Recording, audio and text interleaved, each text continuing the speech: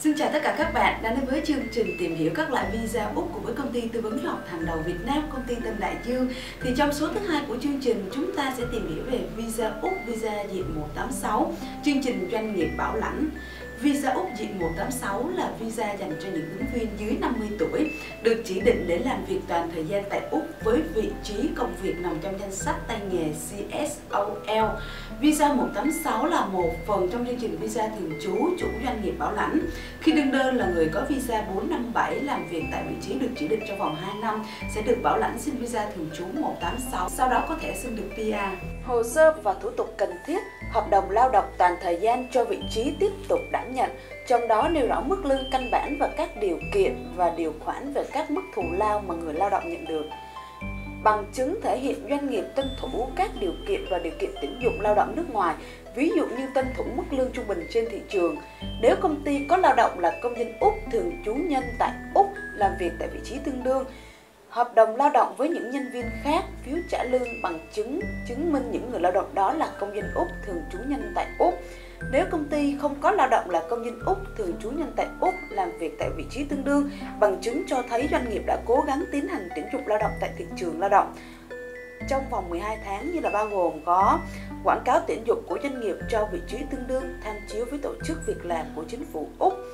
Bằng chứng về việc doanh nghiệp đáp ứng đầy đủ các yêu cầu đào tạo được quy định đối với doanh nghiệp được bảo lãnh theo diện visa 457. Điều kiện đối tượng áp dụng visa du học Úc diện 186 chương trình bảo lãnh doanh nghiệp thì dưới 50 tuổi tại thời điểm nộp đơn hồ sơ xin visa đã làm việc cho doanh nghiệp bảo lãnh tại vị trí được chỉ định theo diện visa 457 trong vòng tối thiểu 2 năm trước khi xin visa diện visa 186. Nộp hồ sơ theo đúng vị trí đã được chỉ định, việc chỉ định phải không quá 6 tháng trước khi nộp hồ sơ visa. Tiếng Anh tối thiểu IELTS 5.0 trở lên với điểm thành phần không có band nào thấp hơn 5.0. Không cần chứng minh trình độ tiếng Anh nếu các bạn được làm việc tại vị trí có mức lương cơ bản tối thiểu 96.400 đô la Úc một năm.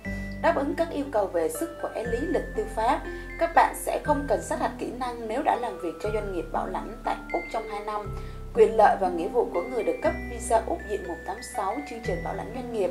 Thứ nhất là về quyền lợi được sống ở Úc, học tập và làm việc ở Úc. Nếu dưới 18 tuổi sẽ được phép theo học trường công miễn phí. Được phép tham gia Medicare, như vậy sẽ được khám chữa bệnh miễn phí, chỉ có những người có PA hoặc quốc tịch mới được phép tham gia Medicare. Các loại visa khác không được quyền tham gia Medicare và Medicare được chính phủ Úc trợ cấp rất nhiều. Nộp đơn xin trở thành công dân Úc nếu như người nộp đơn có đủ tư cách. Bảo lãnh người thân đủ điều kiện sang thường trú tại Úc, được phép tự do ra vào lãnh thổ Úc trong 5 năm kể từ ngày cấp visa. Sau thời gian này, quý vị cần xin cấp visa trở lại hoặc một loại visa khác để quay trở lại Úc. Thứ hai là về phần nghĩa vụ. Các bạn và gia đình các bạn cần tuân thủ tất cả các điều kiện đi kèm visa cũng như luật pháp ở Úc. Phòng nhập cảnh có thể hủy visa nếu trên thực tế trong vòng 6 tháng các bạn không làm việc cho doanh nghiệp. Ngày đầu tiên vào Úc, nếu các bạn được cấp visa khi đang ở ngoài lãnh thổ Úc hoặc ngày visa được cấp nếu như người nộp đơn được cấp visa đang ở Úc.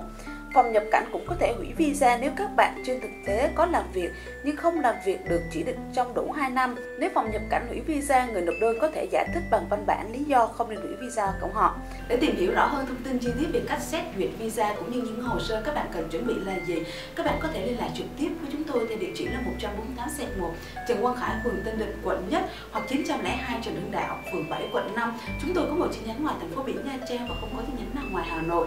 Các bạn có thể gọi điện thoại trực tiếp với chúng chúng tôi theo số điện thoại 38484879 hoặc 38382080. Xin chào và hẹn gặp lại tất cả các bạn trong chương trình lần sau.